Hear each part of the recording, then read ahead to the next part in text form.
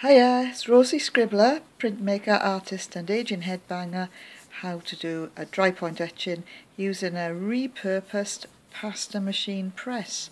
This is a dry point etching plate that I prepared earlier.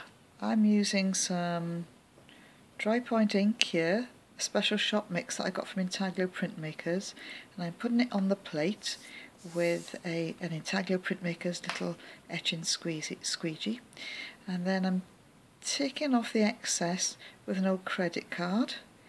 Uh, here I've used a new piece of newspaper, clean piece of newspaper, and I'm removing it with a bit of tissue. You can be, be quite brutal, but don't take too much off the plate. It doesn't have to be wiped perfectly clean. But what you do have to do is clean the edges with a rag. I've had some paper, it's Bockingford, soaking for about an hour.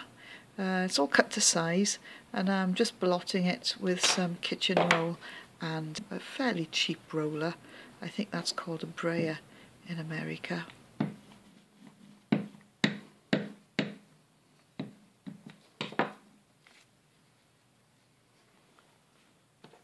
And look, I've repurposed my uh, toaster tongs as well. I'm putting the paper uh, in place the first layer is a little blanket, a press blanket I made from uh, a piece of felt I got from a craft shop. Then there's some tissue, then the soaked paper, and now I'm putting the little dry point etching plate face down onto the soaked paper, then some more tissue, and then the second blanket. The cat's very interested at this point. And here's the pasta machine. Now I'm holding the whole thing together very, very tightly so that the plate and the paper don't move and keep a tight hold as I put it through the machine.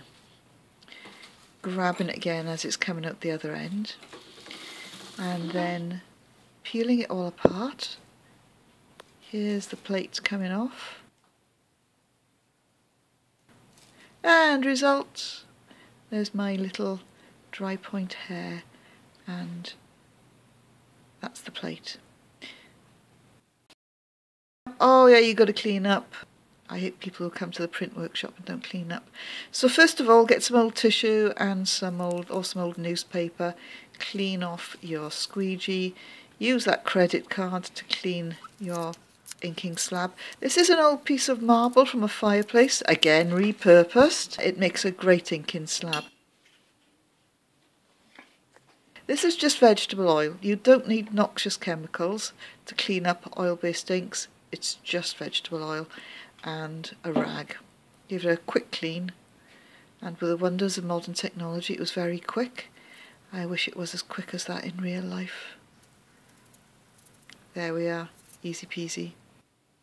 And now with a bit of added cat, this is the infamous Spartopus. She likes to help me so she thinks. It's going through again, another print. See how easy it is with the pasta machine. It, it didn't need any adjustments, it's just a bog standard kitchen pasta machine. And here's another print done. Ah, oh, she's got my rag, my cleaning rag.